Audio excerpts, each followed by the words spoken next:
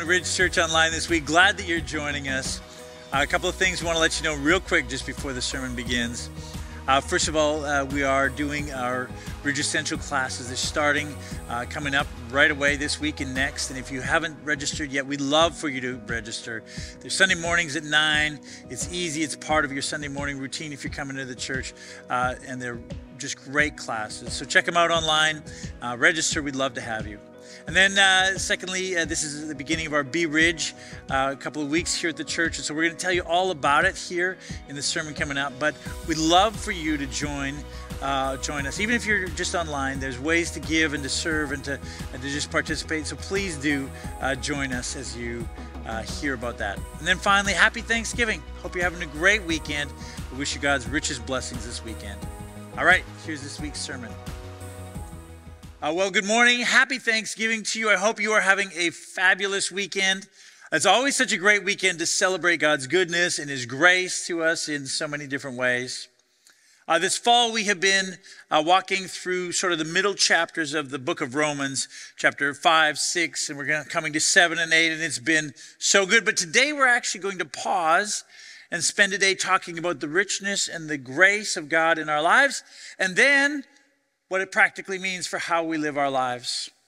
You know, if you go back to study the history of the early church, one of the things that will surprise you is the fact that the early church actually survived.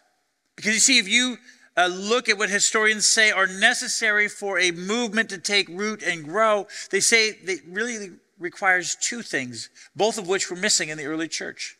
Either a movement has to have a very powerful, charismatic political leader who has the incredible military force behind him to enforce the kind of movement that he wants to bring around, or it has to be a massive movement of people that is highly organized around an idea that finally has its time.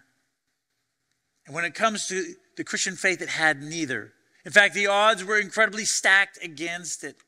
You know, the early church, the early Christians, they were not organized at all. They had no buildings. They were not recognized by the government. In fact, most people in that day considered them to be a cult, which meant that they were socially looked down upon. They were uh, sometimes persecuted and sometimes even tortured for their faith in Jesus. And yet, and yet against all odds, the church continued to grow, which raises this question. Why? I mean, what was it about the early church that caused it not only to survive the first couple centuries, but to actually thrive? Now, that's the kind of question that historians like Rodney Stark and Paul Johnson and Alvin Schmidt and others have delved into and looked into deeply. And what they found is not exactly surprising, but it's not exactly what most people would expect. And what they found is this that the, that the source of the appeal and the influence of the church in the first couple of centuries could be traced back to this to generosity. See, the hallmark of the Christians in the first century wasn't their wealth because they had no wealth. It wasn't their political power because they didn't have that either. It wasn't their organizational skills because they had no organization going. It wasn't their theology either, because what they held to as followers of Jesus was so radically different than the cultural culture around them that most people didn't even know what to do with what they believed.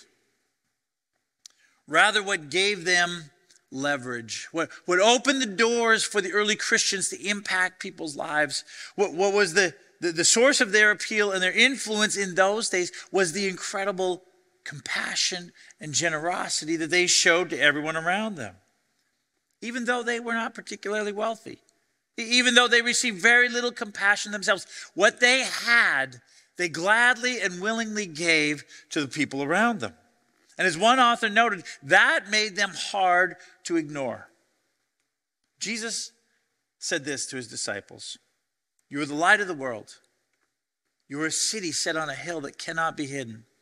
Nor do people light a lamp and put it under a basket, but on a stand, and it gives light to all in the house. In the same way, let your light shine before others so that they may see your good works and give glory to your Father who's in heaven. So that's what the early church did. They just became incredibly compassionate and generous in caring for their city, and caring for their neighbors and their coworkers and the people around them. And in fact, their generosity was so radical, it was so profound that it literally blew up the, the idea of generosity in the ancient world. Because you see, the rule of thumb in the ancient world, when it came to things like courtesy and etiquette and decency and generosity, the rule of the thumb was summed up in a Latin word. This Latin word is liberalitas. And liberalitas basically means that you give in order to get something in return. It was how the whole system worked in the ancient world. Everyone looked out for everyone else, but always with the motive of getting something in return. The, the underlying thinking behind this idea of liberalitas was, you know, you scratch my back, I'll scratch your back. In fact, it was so ingrained in the in the system, in the thinking of that ancient culture, was literally printed on the coins. When an emperor would mint coins, he would obviously put his picture on it, but then he would also inscribe on it this word, liberalitas. And then, and then when he would come to a city, they would have a parade because the emperor was coming to town, and the emperor would literally throw these coins out into the into the crowds. He would throw money at the people. But the inscription on this said liberalitas. In other words, I give to you right now, but I expect that if I'm ever in need, if I ever need your allegiance, your help, that you owe me back. It's how the whole system, how the whole economy worked. And um, uh, which, which meant that there was no value then in giving to someone who couldn't do anything in return. I mean, why would you waste your good money? Why would waste your time and your energy on somebody who had nothing to offer back to you? In fact, the whole idea was to find somebody that had something to offer and to do something for them first before they could do something for you because then they would owe you down the road and that was good for you. Now, of course, for us, that, you know, I mean, we don't think that way these days right? I mean, we, we value sacrifice and giving in part because of the influence of the Christian faith over hundreds and hundreds of years. But in our culture, I mean, we, we value sacrifice and giving, and, and so it's celebrated in the movies that we watch, in the stories that are told, in the news that is reported.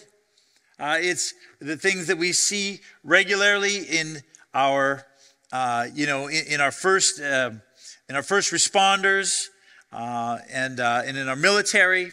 And it becomes for us the sort of standard that we use to measure things like honor and integrity and faithfulness and courage. But not in the first century. Not at all. In the, in the first century, it was, I do for you only if you can do for me. Which explains why the plight of the orphans and the widows was so desperate. Because it was seen as foolish seen as an utter waste of your time and your resources to bother giving money to orphans and widows because they could do nothing in return for you. And not only was it seen as foolish, but no one made you bad, feel bad if you weren't doing it. Because that's how everyone did it. That's how everyone thought. But then along came Jesus.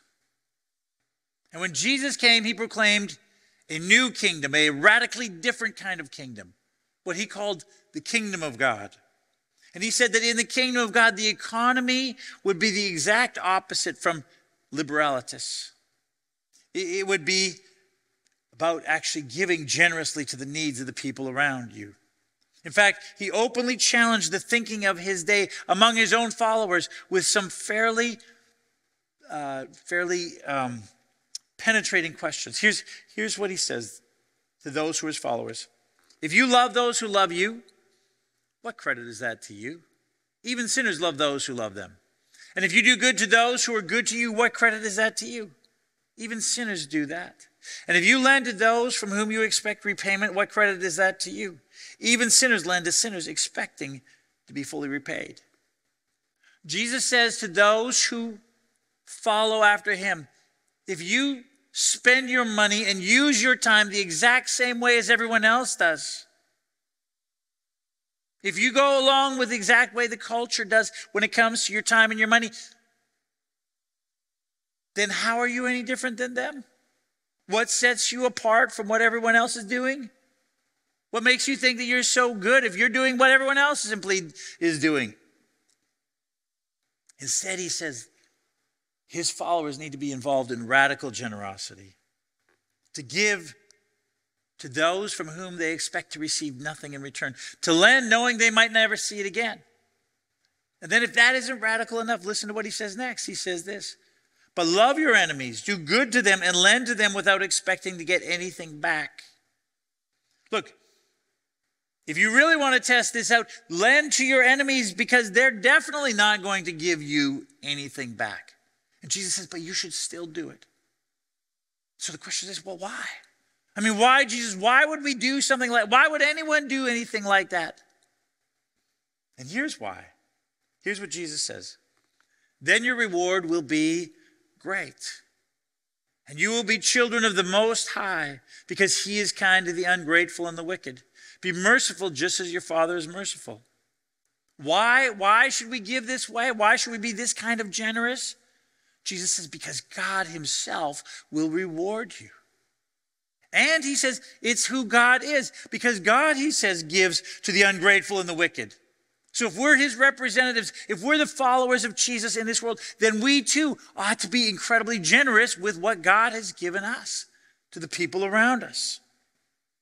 And Jesus wasn't just talk on this stuff. I mean, he led by example.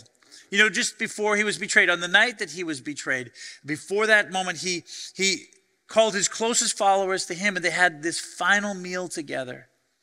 And it was an incredible meal. I mean, you should read what Jesus said at that meal. I mean, you can read it in the Gospel of John. And you know, at that meal, Jesus was the most powerful person in the room. He was the leader of this new burgeoning movement that was taking root. And he, he had just stood up and announced that he had been given by God complete authority over the entire world. But then, after that kind of a statement, rather than demanding that his disciples bow down and worship them, worship him instead, he goes and he, he takes off his nice clothes and he, he wraps a towel around his waist and he literally goes from one disciple to the next and washes their feet which in that culture was considered the lowliest, dirtiest, most demeaning job that a person could do. And Jesus does every one of the disciples. And when he's done, he, he takes off the towel and puts back on his nice clothes and he sits down and, and he begins this conversation with his disciples. Here's what he says He says, Do you understand what I have done for you? He asked them. You call me teacher and Lord, and rightly so, for that's what I am. Now that I, your Lord and teacher, have washed your feet, you also should wash one another's feet. I have set you an example that you should do as I have done for you. Very truly, I tell you, no servant is greater than his master, nor is a messenger greater than the one who sent him. Jesus says to those who are committed to following him, He says, Am I really your leader? Am I really your teacher? Am I your rabbi, the one you look to for wisdom to know how to live this life? If I really am, then you have to do what I do. Then you have to follow my example. Then you have to watch me. If he willingly and gladly served you and I, then how much more should we be willing to serve those around us?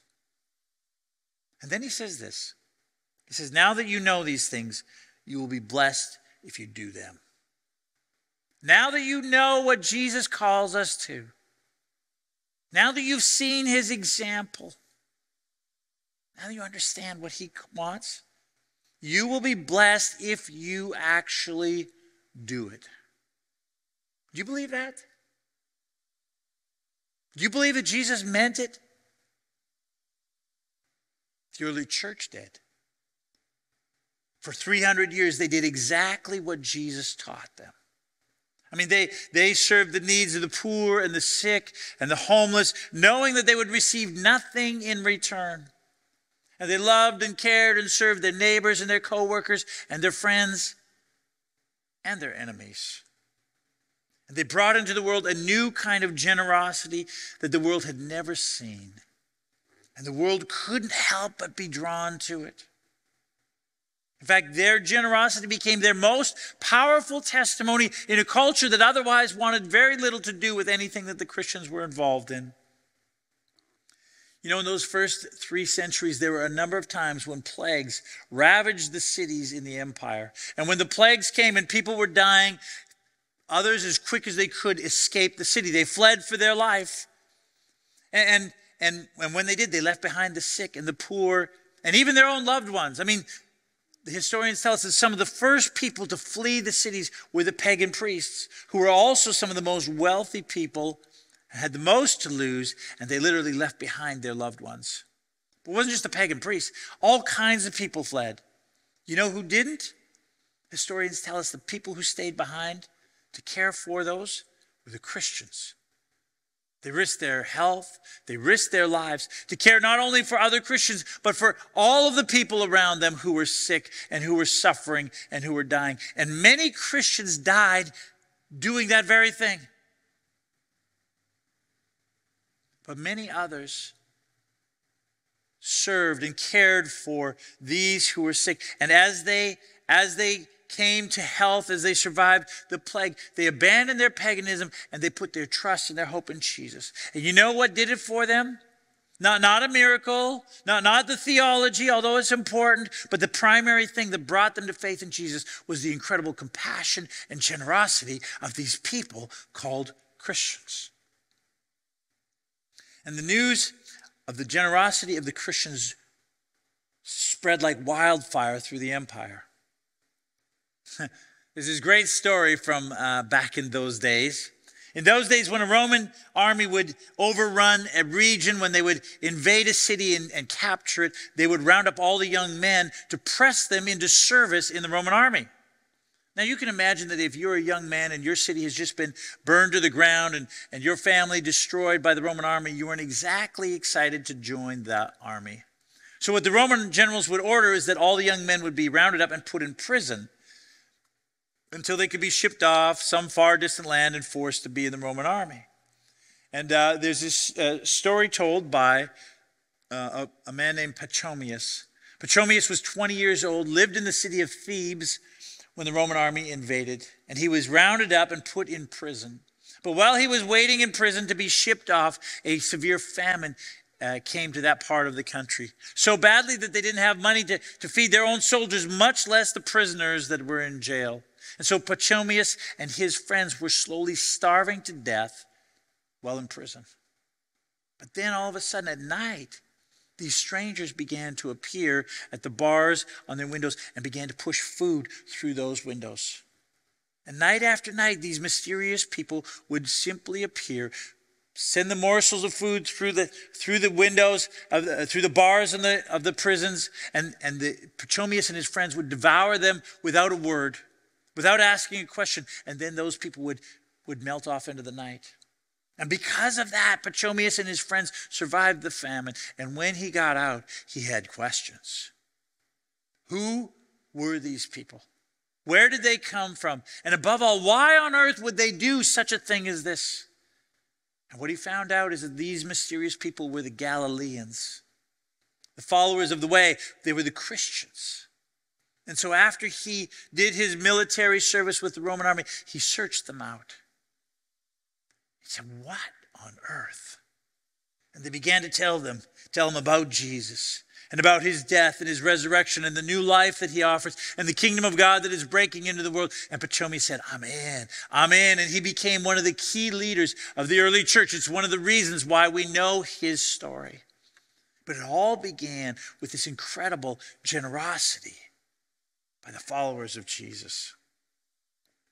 Christians gained such a reputation for generosity in the empire that their, their ongoing love and, and compassion for people was so profound and so effective that it began to reshape the beliefs of an entire empire. So much so that one of the emperors, a man named Julian, got a little bit nervous about it. And he said, We need to go back to the ways of Roman paganism. And so he began to push back against the impact that the Christians were having through their generosity. But his, foil, his plans were foiled because of the incredible generosity of the Christians. He was so frustrated that he literally, we have record of him writing a letter to one of his officials, and this is what he writes. He says, For it is disgraceful that the impious Galileans, that's how he referred to the Christians, it's disgraceful that the impious Galileans support not only their own poor, but ours as well, while all men see our people lack aid from us. Basically, he couldn't change the trajectory of the empire, even though he was the emperor, because the Christians were so generous and compassionate and loving in what they did. And they did it not, not because they got something in return, but because of what God did for them. You see, this kind of generosity this kind of compassion, this kind of love and service was one of the primary reasons why the Christian church survived the first centuries of its existence. Now, imagine what that would look like for us today in this part of the world as we also practice that kind of, of compassion, that kind of generosity. The Apostle Paul, he writes to one of his proteges, to a man named Timothy, who was pastoring a local church. And this is what he says to him Command those who are rich in this present world not to be arrogant, nor to put their hope in wealth, which is so uncertain, but to put their hope in God, who richly provides us with everything for our enjoyment. Command them to do good, to be rich in good deeds, and to be generous and willing to share. In this way, they will lay up treasure for themselves as a firm foundation for the coming age, so they may take hold of the life that is truly life. Here's what Jesus expects of us He expects that we who are rich in this present world, and we've talked about this in the past, we who live in Canada, in North America, are in the top 5%, maybe even 1% of the wealthiest people of the world. So when Paul writes this, he's writing to you and to me. He says this command those who are rich in this world. Even though these days we have all this pressure around, you know, the, the inflation and all that. He says, command those who are rich in this world to do good, to be rich in good deeds, and to be generous and willing to share. And so that's what we want to do.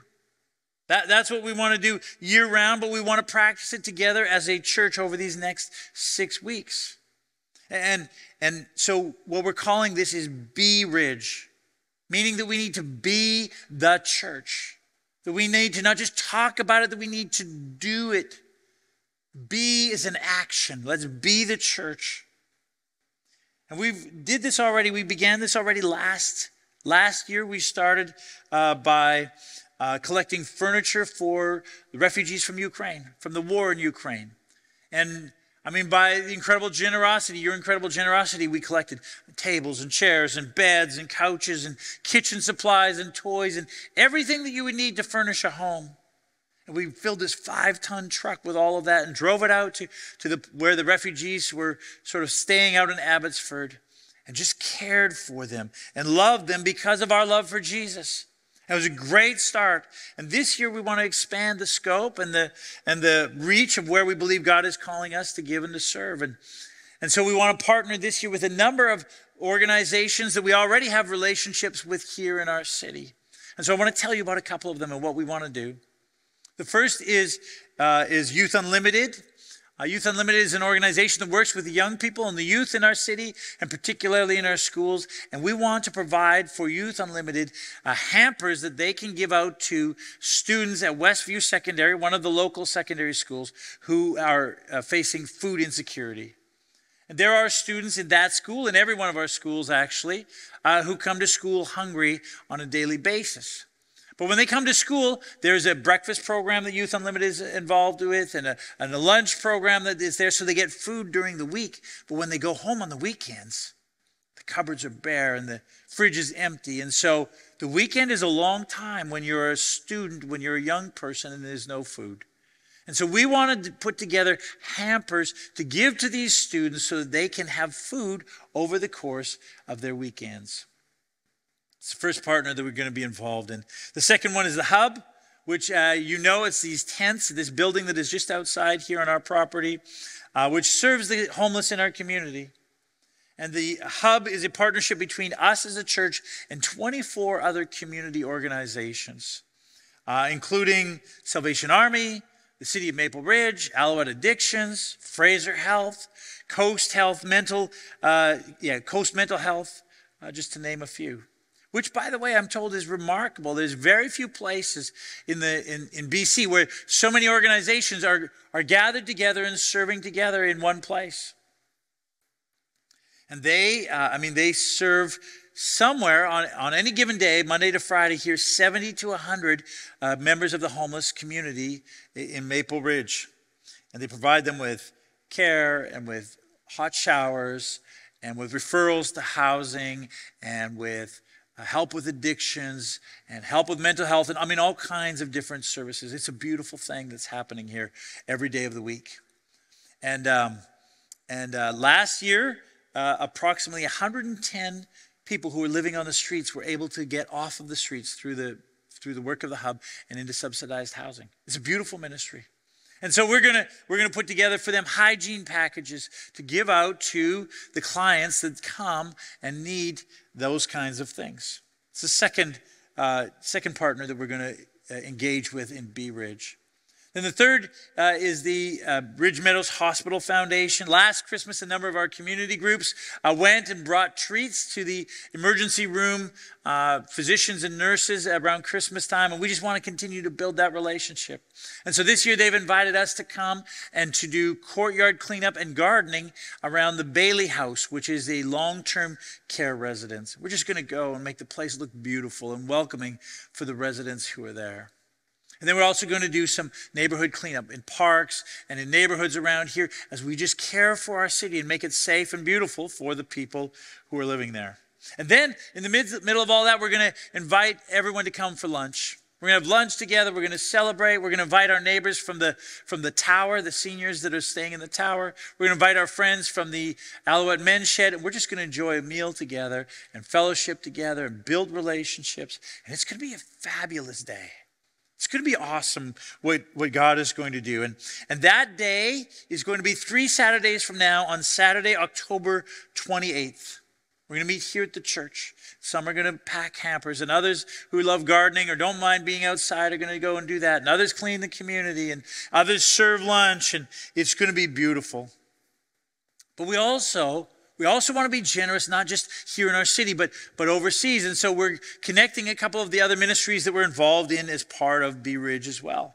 First is Campo Compasiva, which, if you're not familiar, is a birthing center for uh, uh, pregnant mothers in a, a, very poor part of Mexico. And it's a place where they can come and, and know that they will have a safe childbirth, and that they will have all of the medical resources necessary, that their children will get a good start in life.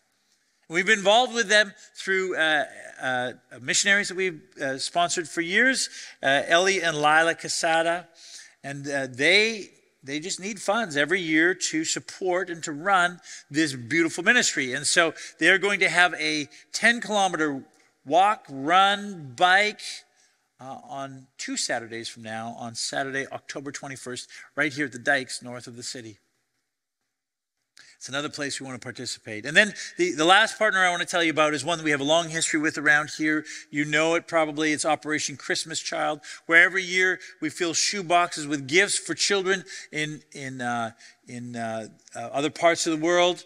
And those boxes are given together with an invitation to come and hear the message of the gospel. And as a result of that ministry, literally hundreds of thousands of children have given their life to follow Jesus, and their families have been impacted in beautiful ways as well. And so next Sunday, we're going to begin to have those boxes available for you as well. So, here's what we want to do we want to be rich, we want to be the church of Jesus Christ. We want to follow the example of Jesus to do good, to be rich in good deeds, to be generous and willing to, to serve. And so, in the next week, we want you to plan to serve in one of these areas. Pick one. Hampers is great. Bring your kids or your grandkids and help them catch a vision for serving. Working in the in the you know in the community, those who love gardening. If you say I don't want to do that, then go ride a bike and be generous. Walk the dikes and give And, and as we do every year, pick up a box, a shoe box, so that you can give uh, towards Operation Christmas Child. And to do all that, though, we need to know who's coming and when and where and what. And so it's important that you go to the website, and the, the, the, the website is here on the screen. You go there this week and you say, okay, this is where we're going to do. This is where I'm going to do, where we as a family are going to do, where we as a community group are going to do, and find your place and say, okay, we're going to come and serve. And over the next six weeks, we're going to serve in all kinds of beautiful ways. But this week, this week, we want to ask you to do something else. This week, we want to ask you to give, to be generous. Because you see, to serve our city, to, to do that kind of thing costs money. It requires us to be generous with our money. And so here's what we want to ask you to give today. We want to ask you to give $20 or more, or more if you want. We'd love that. But if everyone in the room today were to give just $20, $20 for each individual, we would raise over $7,500 to give towards the needs in our community. And in particular, those funds are going to go to make the hampers to give to the students who are, who are experiencing food insecurity at Westview Secondary School. So today, right after the service, in about 20 or 30 minutes, we're hoping to raise the kind of money that is necessary for us to be generous eh, to the needs in our community. And every penny that you give will go to Be Ridge. It goes directly to be out there. If you, if you use the online service, there is an administrative fee that does not come to the church. That's just part of using the online service. And if you can help with that, it's great. But, but the money that you give, all of that just goes directly out to the people that we're going to uh, care for. So let's be generous this Thanksgiving. And then after the service, there'll be these giving stations where you can go and, and use debit. There'll be giving boxes if you have cash or if you want to write a check. But probably the best way to do it is to simply uh, to simply uh, take out your phone and use it uh, use it for the QR code here, which will take you to a place uh, where you can give online, and it will take you three or four minutes of your entire life to do that. But please do take the time and give so that we can be just generous in our community. Now, with all of this we want to do, in all of being the church and being rich, in all this, we have set no specific goals except for one. And, and this is the one goal that we have for Be Ridge, and that's this 100% participation. More than a specific amount of money, more than a certain number of hampers, more than a certain number of partners that we want to partner with, more than anything else, we want to participate together as Ridge Church for the sake of what God wants to do through us as we practice generosity together. And so we want to make it part of the church. We want to be the church of Jesus here so that as we share our generosity with the world around us, our light might shine in this city and across the globe so that, so that others may experience that generosity and may give glory to our Father in heaven. So let's do what Jesus calls us to. Let's, let's go and see what he will do as we are faithful to be obedient to what he calls us to do. All right, let's pray. And then we're going to do it. Well, Heavenly Father, we thank you. We thank you uh, particularly on this weekend, on Thanksgiving weekend, Father, for your grace and your goodness and your kindness in our lives in so many ways. Father, we could spend the day counting and listing your goodness and your grace to us.